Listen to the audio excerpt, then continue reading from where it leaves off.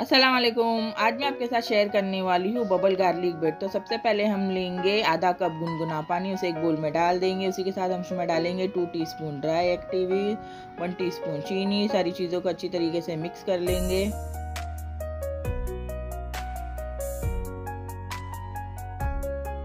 सारी चीज़ों को मिक्स कर लिया है। अब हम इसमें ऐड करेंगे वन टेबल स्पून तेल। इसे भी अच्छे से मिक्स कर लेंगे। इसे ढककर पाँच मिनट के लिए छोड़ देंगे। यीस्ट अच्छी तरीके से फूल चुका है।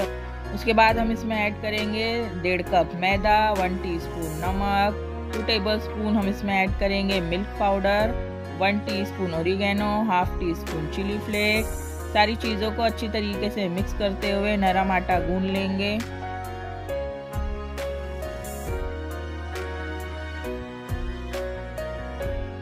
आटे को मैंने गुन लिया है। अब इसे थोड़ा चिकना कर लेंगे। इस तरीके से पटक पटक कर तीन से चार मिनट के लिए आटे को चिकना कर लेंगे।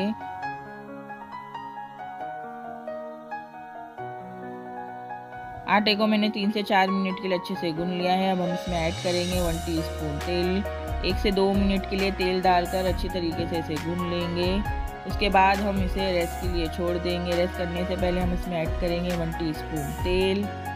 तेल डालकर आटे को ढककर दो से तीन घंटे के लिए अच्छी तरीके से रेस्ट के लिए छोड़ देंगे। आटा अच्छी तरीके से फूल जाएगा। आटे को मैंने दो घंटे के लिए रेस्ट के लिए छोड़ दिया था। आटा अच्छी तरीके से फूल चुका है। दोबारा से इसे एक मिनट के लिए गून लेंगे।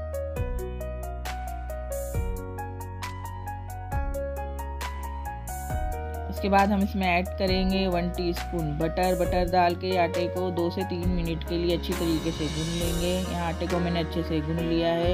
अब इसकी छोटी छोटी बॉल बना लेंगे।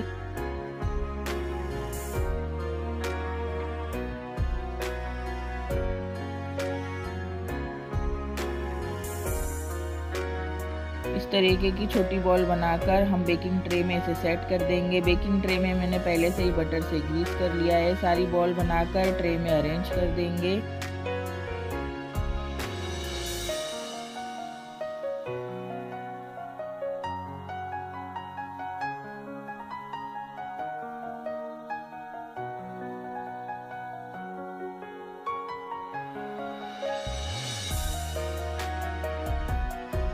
यहाँ मैंने ट्रे में सारी बॉल को अरेंज कर लिया। अब इसे ढककर 15 से 20 मिनट के लिए छोड़ देंगे। ये अच्छी तरीके से फूल जाएँगी। उसके बाद इसमें हम ऊपर से लगा देंगे गार्लिक बटर गार्लिक बटर मैंने अच्छे से इसके ऊपर लगा दिया है। अब हम इसे पहले से ही मैंने ओवन को गर्म कर लिया है।